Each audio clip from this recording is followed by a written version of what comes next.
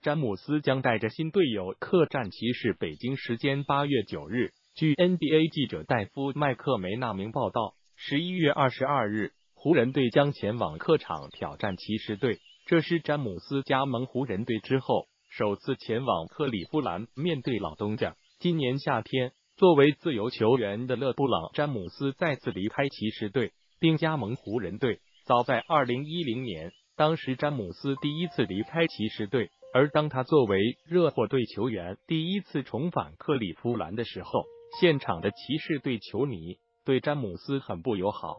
但可以预见到的是，当詹姆斯在今年十一月二十二日前往快带球馆的时候，他应该会受到和八年前不一样的待遇。